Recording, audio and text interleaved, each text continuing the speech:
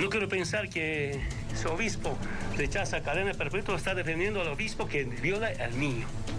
Eso no es ningún, no es ningún secreto. Si la cadena perpetua es solución para quienes violan niños, niñas, excelente.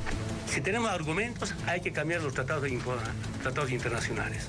Si la cadena perpetua es bueno para la humanidad eh, frente a los que violan a los niños, si eso ayuda a resolver, hay que cambiar esos tratados.